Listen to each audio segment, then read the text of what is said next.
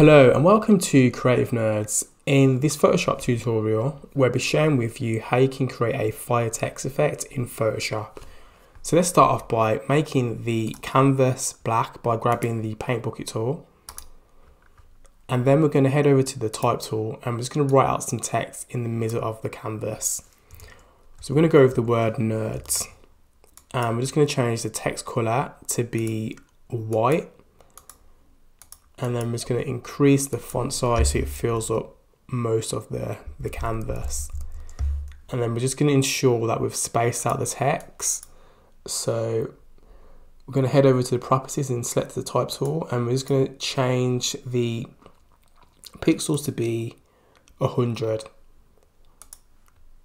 Perfect. And then from there, we're going to select uh, a right select command and then click on the type text layer.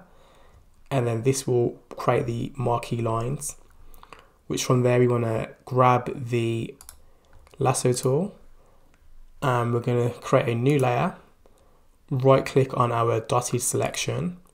And we're going to choose the option make work path and then that will bring up the make work path dialog box and we're just going to select the tolerance to be 2.0 and select OK.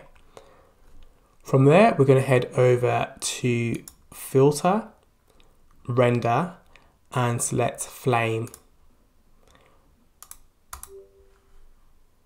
and that will bring up the flame dialog box. From there we want to change the option to be so there'll be various types of different flame types and we want the option we want to use is multiple flames one direction.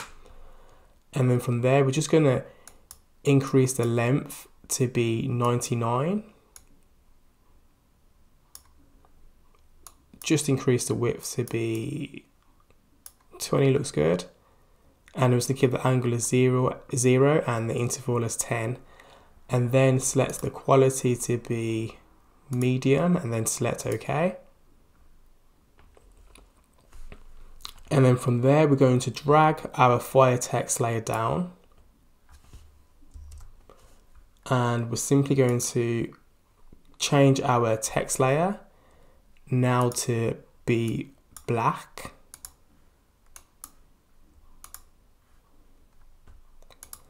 And we're just going to turn down the opacity to 80%. And we're going to change the blend mode to be multiply. And there you go, that's a quick way in Photoshop you can create a really cool realistic fire text effect using Photoshop. Thanks for watching and stay tuned to Creative Nerds for further quick tips on how to use Photoshop.